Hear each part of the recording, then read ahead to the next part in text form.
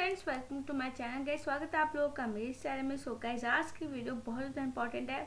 तो आप लोगों को ध्यान रखना है, दो स्टॉक के बारे में बात करूँगी। सबसे पहला स्टॉक तो आप देख ही रहे हो स्क्रीन पे Bharat dynamic guys Bharat dynamic की बात की जाए तो आज के दिन देखिए, इसमें दो परसेंट की तेज़ी देखने को मिल रही है। लेकिन पिछले पाँच दिन के अंदर अठारह परसेंट तक चढ़ चुका और एक महीने में फिफ्टी सेवन परसेंट तक। सिक्स मंथ में इसने नियर अबाउट डेढ़ सौ परसेंट से भी ज़्यादा का रिटर्न दिया और एक साल के अंदर आप देख सकते हो नियर अबाउट दो सौ परसेंट और पाँच साल में नौ सौ चालीस और maximum six hundred eighty seven means आप कह सकते हो सेवन हंड्रेड परसेंट तक का रिटर्न दिया। दो हज़ार अठारह में ये स्टॉक आया था उन्नीस सौ चौरानवे रुपये पे। आज आपको पंद्रह सौ पचपन रुपये चौवन रुपये पे देखने को मिल रहा है। गाइस इसके बारे में बता दूँ कि भारत डायनेमिक के शेयर में फ्राइडे के दिन भी काफ़ी अच्छी तेज़ी देखने को मिल रही थी। और गई थी कि एक्चुअल में क्या है फ्राइडे को होने वाली स्प्लिट की वजह से ना, पिछले दिनों में काफ़ी तेज़ी देखने को मिल रही है। वीकली एक्सपायरी पर गुरुवार को शेयरों में एक खबर आने के बीच तेज उछाल देखा गया था।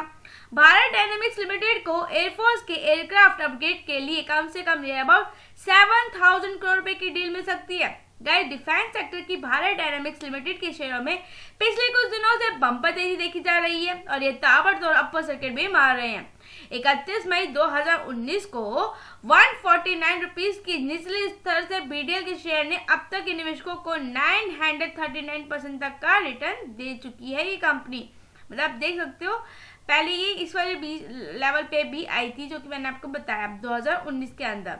ठीक है nine one hundred forty nine के लेवल पे भी हमें ट्रेड करती हुई इस, इस दौरान यहाँ मिली भी है।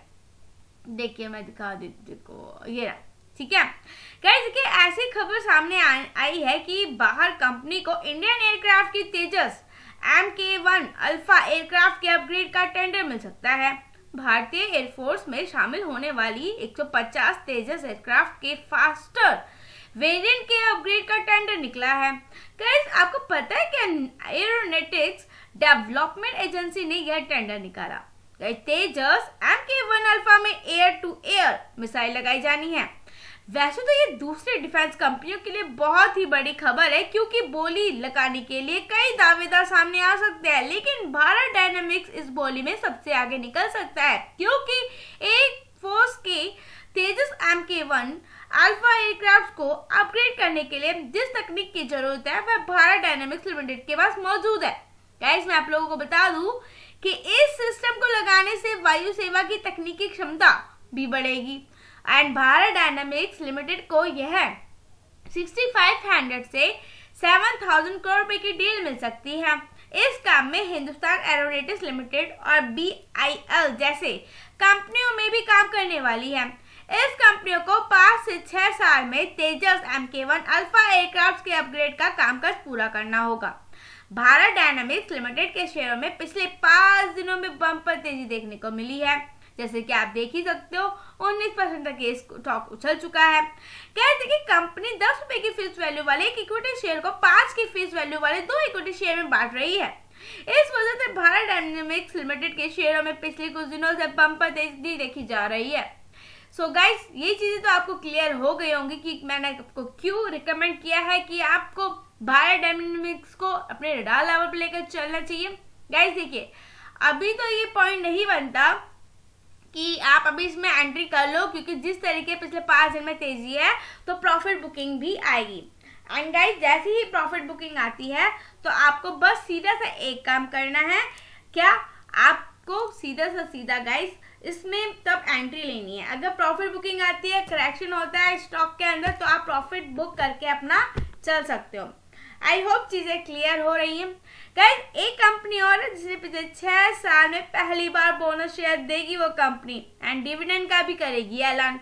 तो अब आप सोचिए सोचिए कौन सी वो कंपनी है। तो गाइस मैं आपको बता दूँ, बिना टाइम वेस्ट करे कि आप इतना टाइम वेस्ट करें और दिमाग लगाए तो गाइस उस कंपनी का नाम है एम फोर्जिंग्स लिमिटेड इस एम फोर्जिंग लिमिटेड की अगर मैं बात करूँ तो फ़िलहाल तो हम इसके चार्ट पैटर्न को समझ लेते हैं, ठीक है? देखिए, पिछले मैक्सिमम पे चाहती हूँ मैं सीधा।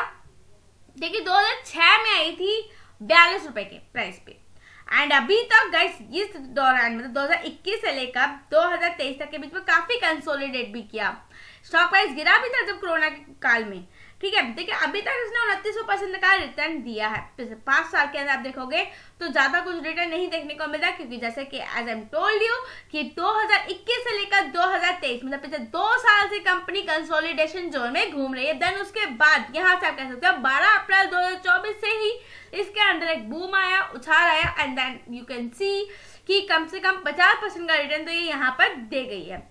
गाइस तो और क्या चाहिए यार? पिछले एक साल के अंदर पचास परसेंट का रिटर्न मिल जाए, छह महीने के अंदर चालीस परसेंट का रिटर्न मिल जाए, है ना? पैसा डबल से ट्रिपल हो जाए। गाइस देखिए डाई हार्ट फोर्जिंग का कारोबार करने वाली कंपनी है एम फोर्जिंग एंड अब अगर मैं मार्केट कैप की बात करूँ ना कंपनी की तो गाइस देखिए, तीन हज़ार करोड़ की कंपनी का मार्केट कैप है, ज़्यादा कुछ बड़ा मार्केट कैप तो कंपनी का है ही नहीं। हाई इसने बारह तिरासी बनाया था और अभी अपने बावन वीक के हाई से भी ऊपर ट्रेड कर रही है। मतलब ओपन ही हुई थी, तब बारह तिरासी तक का बनाकर इसने, उसके बाद देखिए बारह छियासी बार में देखने को मिले गैस कंपनी ने क्या करा है? बोनस शेयर देने का तोहफा देने की बात की है उनतीस मई को बोर्ड बैठक करेगी। ठीक है, जिसमें मार्च क्वार्टर के नतीजों के साथ ही बोनस शेयर जारी करने के प्रस्ताव भी विचार किया जाएगा। गैस अगर बोर्ड से मंजूरी मिलती है तो छह साल में पहली बार होगा कि कंपनी शेयर जारी करेगी। गैस एम एम फोर्जिंग ने पिछले बार दो हज़ार अठारह में बोनस शेयर जारी किया था। इसके अलावा कंपनी ने दो हज़ार अठारह में आठ में भी बोनस शेयर जारी किया था। दोनों बार कंपनी ने वन इस टू वन के रेशियो में बोनस शेयर जारी किया था। इसका मतलब ये है कि शेयर होल्डर्स को एक शेयर के बदले एक शेयर फ्री भी मिल सकते हैं। बोनस शेयर जारी करने के साथ ही कंपनी डिविडेंड के प्रस्ताव पर भी विचार करेगी। पिछले दो साल में कंपनी ने अपने इतिहास में सबसे ज़्यादा डिविडेंड 2022 से लेकर 2023 में इस कंपनी ने छह प्रति चार रुपए के प्रति शेयर का डिविडेंड दिया था। इस कंपनी की वेबसाइट पर दी गई जानकारी के अनुसार अनुसार ये अपने प्रोडक्ट रेंज में फोर्जिंग एक्सपोर्ट करने वाली सबसे बड़ी कंपनी है एंड क्लोज हाई फोर्जिंग को कंपनी घरेलू बाज़ार और अंतरराष्ट्रीय बाज़ार में मुहैया कराती है। इस कंपनी के पास फ़िलहाल 10 प्लांट्स हैं, जिसकी क्षमता 1.1 लाख मीट्रिक टन है। गाइस फ्राइडे के दिन एम फोर्जिंग का शेयर करीब बहुत ज़्यादा मतलब अगर आप देखोगे फ्राइडे के दिन एम फोर्जिंग के अंदर भी काफ़ी अच्छी तेज़ी देखने को मिली मतलब तेरह परसेंट तक चढ़ चुका था। और आज के दिन भी देखिए सेम वही तेरह परसेंट तक चढ़ता हुआ देखने को मिला मतलब फ्राइडे के दिन भी कम से कम आप कह सकते हो उसके अंदर मतलब पंद्रह परसेंट तक की तेज़ी देखी जा है देखी जा चुकी है एंड पिछले बारह महीने के अंदर। जैसे कि मैंने आपको बताया फोर्टी नाइन परसेंट की तेज़ी, और पिछले पाँच साल में गए दो गुना तो शेयर हो ही गया है, और काफ़ी पैसा इसने डबल भी करा है। सो गाइस देखिए, ऐसे चुनिंदा स्टॉक्स आपको कहाँ मिलेंगे जो आपका पैसा डबल कर दे? तो गाइस बारह डायनामिक और एम एम फोर्जिंग्स ये बहुत अच्छी कंपनियाँ हैं जो निकल के देखिए, मैं आपको क्यों बता रही हूँ? डिफेंस सेक्टर से रिलेटेड है? भारत डायनामिक ठीक है? अगर फोर्जिंग की बात करो तो इसका कारोबार भी काफ़ी ज़्यादा अच्छा देखने को हमें मिलता है। तो अगर कंपनी बोनस दे रही है डिविडेंड दे रही है देखिए, मैं ये नहीं कहती कंपनी में आप तभी एंट्री लो कि अगर वो बोनस डिविडेंड दे रही है।